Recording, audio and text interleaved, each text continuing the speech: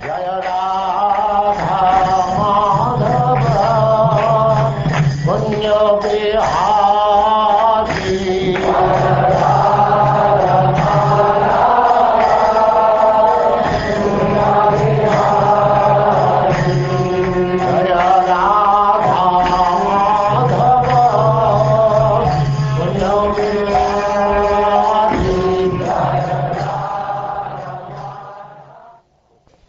Now chapter 10, Prahlad, the best among exalted devotees.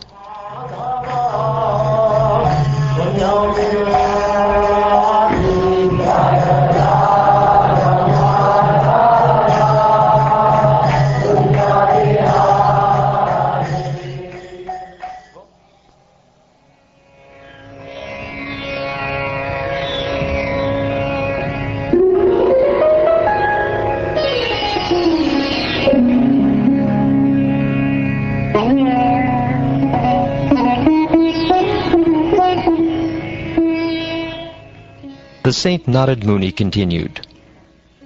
Although Prahlad Maharaj was only a boy, when he heard the benedictions offered by Lord Nrsingadev, he considered them impediments on the path of devotional service. Thus he smiled very mildly and spoke as follows. My dear Lord, O Supreme Personality of Godhead, because I was born in an atheistic family, I am naturally attached to material enjoyment. Therefore, kindly do not tempt me with these illusions. I am very much afraid of material conditions, and I desire to be liberated from materialistic life. It is for this reason that I have taken shelter of your lotus feet. O my worshipable Lord, because the seed of lusty desires, which is the root cause of material existence, is within the core of everyone's heart. You have sent me to this material world to exhibit the symptoms of a pure devotee. Otherwise, O my Lord, O Supreme Instructor of the entire world, you are so kind to your devotee that you could not induce him to do something unbeneficial for him. On the other hand, one who desires some material benefit in exchange for devotional service cannot be your pure devotee. Indeed, he is no better than a merchant who wants profit in exchange for service. A servant who desires material profits from his master is certainly not a qualified servant or pure devotee. Similarly, a master who bestows benedictions upon his servant because of a desire to maintain a prestigious position as master is also not a pure master. O my Lord, I am your unmotivated servant, and you are my eternal master. There is no need of our being anything other than master and servant. You are naturally my master, and I am naturally your servant. We have no other relationship. O my Lord, best of the givers of benediction, if you at all want to bestow a desirable benediction upon me, then I pray from your Lordship that within the core of my heart there be no material desires. O my Lord, because of lusty desires from the very beginning of one's birth, the functions of one's senses, mind, life, body, religion, patience, intelligence, shyness, opulence, strength, memory, and truthfulness are vanquished. O my Lord, when a human being is able to give up all the material desires in his mind, he becomes eligible to possess wealth and opulence like yours. O my Lord, full of six opulences, O Supreme Person, O Supreme Soul, killer of all miseries, O Supreme Person in the form of a wonderful lion and man, let me offer my respectful obeisances unto you. My dear Prahlad, a devotee like you never desires any kind of material opulences, either in this life or in the next. Nonetheless, I order you to enjoy the opulences of the demons in this material world, acting as their king until the end of the duration of time occupied by Manu. It does not matter that you are in the material world. You should always, continuously, hear the instructions and messages given by me, and always be absorbed in thought of me, for I am the Supersoul existing in the core of everyone's heart. Therefore, give up fruitive activities and worship me. My dear Prahlad, while you are in this material world, you will exhaust all the reactions of pious activity by feeling happiness, and by acting piously, you will neutralize impious activity.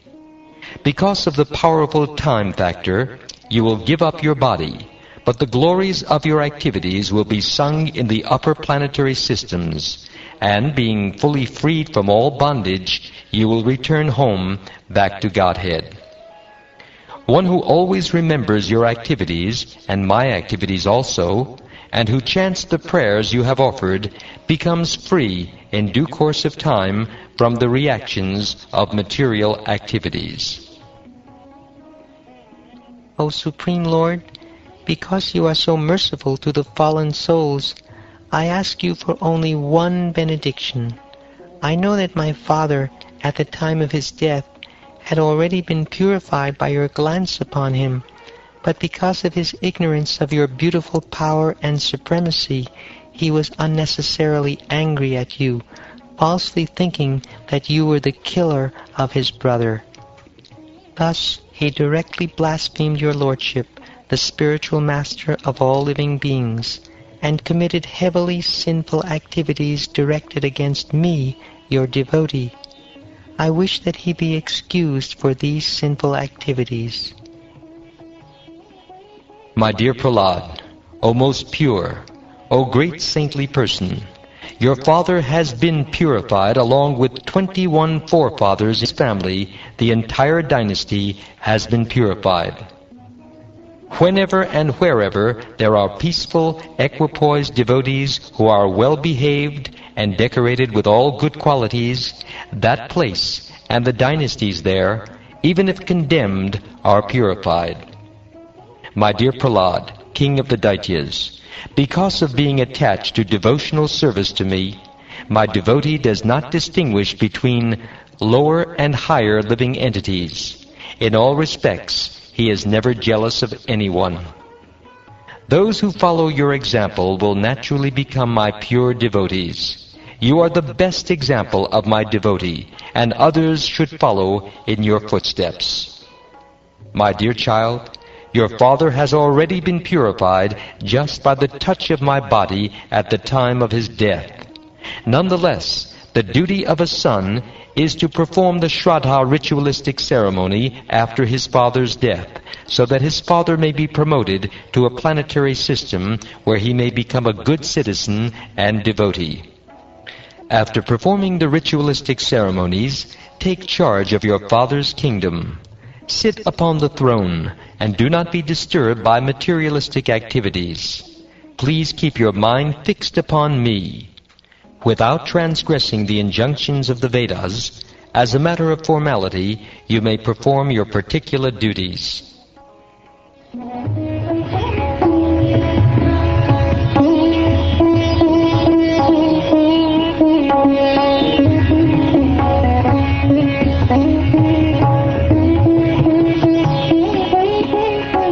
Sri Narad Muni continued. Thus, as the Supreme Personality of Godhead ordered, Prahlad Maharaj performed the ritualistic ceremonies for his father. O King Yudhishthir, he was then enthroned in the kingdom of Hiranyakashipu as directed by the Brahmins. Lord Brahma, surrounded by the other demigods, was bright-faced because the Lord was pleased. Thus he offered prayers to the Lord with transcendental words, saying, O Supreme Lord of all lords, O proprietor of the entire universe, O benedictor of all living entities, O original person, because of our good fortune, you have now killed this sinful demon who is giving trouble to the entire universe.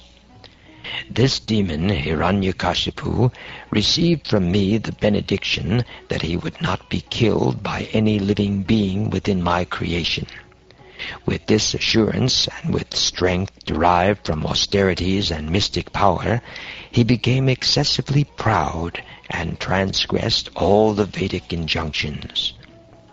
By great fortune, Hiranyakashipu's son Prahlad Maharaj has now been released from death, for although he is a child, he is an exalted devotee. Now he is fully under the protection of your lotus feet. My dear Lord, O Supreme Personality of Godhead, you are the Supreme Soul.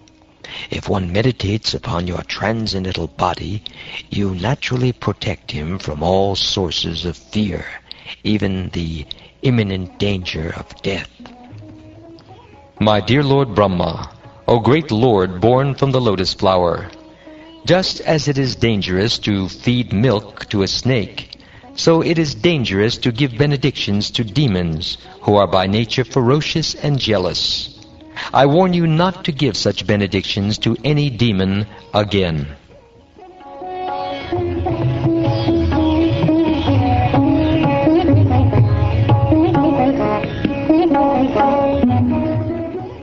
Narad Muni continued, O King Yudhishthir, the Supreme Personality of Godhead, who is not visible to an ordinary human being, spoke in this way, instructing Lord Brahma. Then, being worshipped by Brahma, the Lord disappeared from that place. Prahlad Maharaj then worshipped and offered prayers to all the demigods, such as Brahma, Shiva, and the Prajapatis, who are all parts of the Lord. Thereafter, along with Shukracharya and other great saints, Lord Brahma, whose seat is on the lotus flower, made Prahlad the king of all the demons and giants in the universe.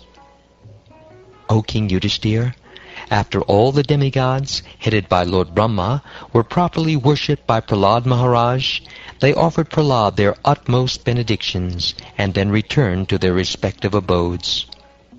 Thus the two associates of Lord Vishnu, who had become Hiranyaksha and Hiranyakashipu, the sons of Diti, were both killed. By illusion, they had thought that the Supreme Lord, who is situated in everyone's heart, was their enemy. Being cursed by the Brahmins, the same two associates took birth again as Kumbhakarna and the ten-headed Ravan. These two Rakshasas were killed by Lord Ramchandra's extraordinary power. Pierced by the arrows of Lord Ramchandra, both Kumbhakarna and Ravan lay on the ground and left their bodies, fully absorbed in thought of the Lord, just as they had in their previous births as Hiranyaksha and Hiranyakashipu. They both took birth again in human society as Shishupal and Dantavakra, and continued in the same enmity toward the Lord. It is they who merged into the body of the Lord in your presence. Not only Shishupal and Dantavakra, but also many, many other kings who acted as enemies of Krishna attained salvation at the time of death. Because they thought of the Lord, they received spiritual bodies and forms the same as His just as worms captured by a black drone obtain the same type of body as the drone. By devotional service, pure devotees who incessantly think of the Supreme Personality of Godhead receive bodies similar to His. This is known as Sarupya Mukti. Although Shishupal, Dantavakra, and other kings thought of Krishna as an enemy, they also achieved the same result. Everything you ask me about how Shishupal and others attained salvation, although they were inimical, has now been explained to you by me. In this narration about Krishna, the Supreme Personality of Godhead, various expansions or incarnations of the Lord have been described, and the killing of the two demons, Hiranyaksha and Hiranyakashipu, has also been described. This narration describes the characteristics of the great and exalted devotee Prahlad Maharaj his staunch devotional service, his perfect knowledge, and his perfect detachment from material contamination. It also describes the Supreme Personality of Godhead as the cause of creation, maintenance, and annihilation. Prahlad Maharaj, in his prayers, has described the transcendental qualities of the Lord, and has also described how the various abodes of the demigods and demons, regardless of how materially opulent, are destroyed by the mere direction of the Lord. The principles of religion by which one can actually understand the Supreme Personality of Godhead are called Bhagavat Dharma. In this narration, therefore, which deals with these principles, actual transcendence is properly described. One who hears and chants this narration about the omnipotence of the Supreme Personality of Godhead, Vishnu, is certainly liberated from material bondage without fail. Prahlad Maharaj was the best among exalted devotees. Anyone who, with great attention, hears this narration concerning the activities of Prahlad Maharaj, the killing of Hiranyakashipu, and the activities of the Supreme Personality of Godhead, Nrsingadev, surely reaches the spiritual world where there is no anxiety. My dear Maharaj Yudhisthira, all of you, namely the Pandavas, are extremely fortunate, for the Supreme Personality of Godhead, Krishna, lives in your palace just like a human being. Great saintly persons know this very well, and therefore they constantly visit this house. The impersonal Brahman is Krishna himself, because Krishna is the source of the impersonal Brahman. He is the origin of the transcendental bliss sought by great saintly persons. Yet he, the Supreme Person, is your most dear friend and constant well-wisher, and is intimately related to you as the son of your maternal uncle. Indeed, he is always like your body and soul. He is worshipable, yet he acts as your servant and sometimes as your spiritual master. Exalted persons like Lord Shiva and Lord Brahma could not properly describe the truth of the Supreme Personality of Godhead, Krishna. May the Lord, who is always worshipped as the protector of all devotees by great saints who observe vows of silence, meditation, devotional service, and renunciation, be pleased with us. My dear King Yudhisthira, long, long ago in history, a demon known as Maya Danava, who was very expert in technical knowledge, reduced the reputation of Lord Shiva. In that situation, Krishna, the Supreme Personality of Godhead, saved Lord Shiva. For what reason did the demon Mayadanava vanquish Lord Shiva's reputation? How did Lord Krishna save Lord Shiva and expand his reputation again? Kindly describe these incidents. When the demigods, who are always powerful by the mercy of Lord Krishna, fought with the Asuras, the Asuras were defeated, and therefore they took shelter of Mayadanava, the greatest of the demons. Mayadanava, the great leader of the demons, prepared three invisible residences and gave them to the demons. These dwellings resembled airplanes made of gold, silver, and iron, and they contained uncommon paraphernalia. My dear King Yudhishthir, because of these three dwellings, the commanders of the demons remained invisible to the demigods. Taking advantage of this opportunity, the demons, remembering their former enmity, began to vanquish the three worlds, the upper, middle, and lower planetary systems. Thereafter, when the demons had begun to destroy the higher planetary systems, the rulers of those planets went to Lord Shiva, fully surrendered unto him, and said, Dear Lord, we demigods living in the three worlds are about to be vanquished. We are your followers kindly save us. The most powerful and able Lord Shiva reassured them and said, Do not be afraid. He then fixed his arrows to his bow and released them toward the three residences occupied by the demons. The arrows released by Lord Shiva appeared like fiery beams emanating from the sun globe and covered the three residential airplanes which could then no longer be seen. Attacked by Lord Shiva's golden arrows, all the demoniac inhabitants of those three dwellings lost their lives and fell down. Then the great mystic Mayadanava dropped the demons into a nectarine well that he had created. When the dead bodies of the demons came in touch with the nectar, their bodies became invincible to thunderbolts. Endowed with great strength, they got up like lightning, penetrating clouds. Seeing Lord Shiva very much aggrieved and disappointed, the Supreme Personality of Godhead, Lord Vishnu, considered how to stop this nuisance created by Mayadanava.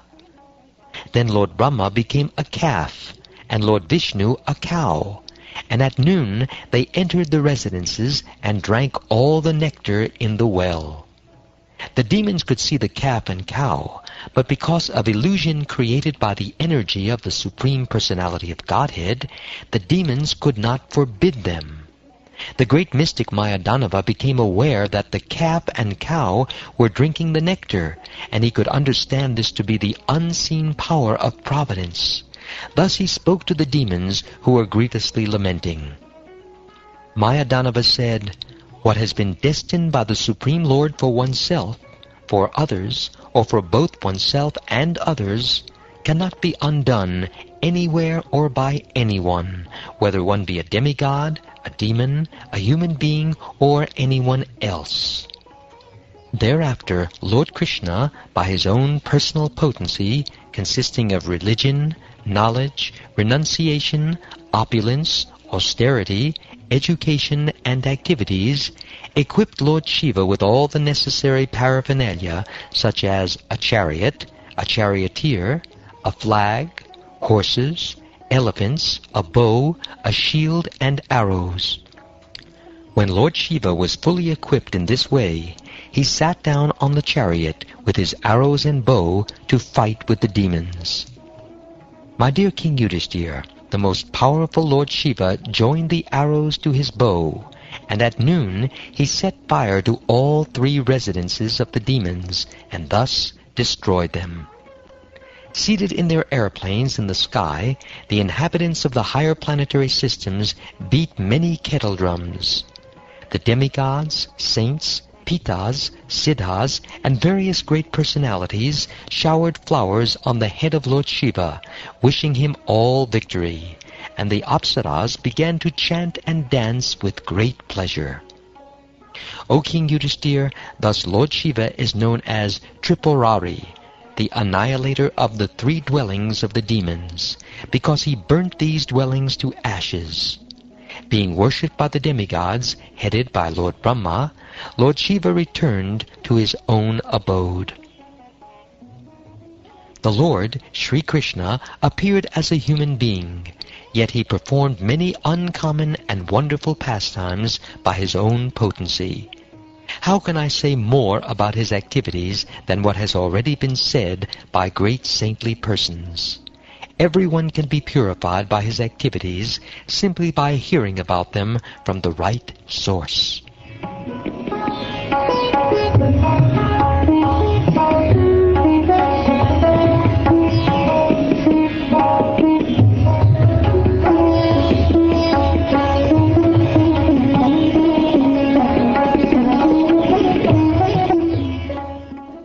Thus ends the tenth chapter of the seventh canto of the Srimad Bhagavatam, entitled Prahlad, the best among exalted devotees.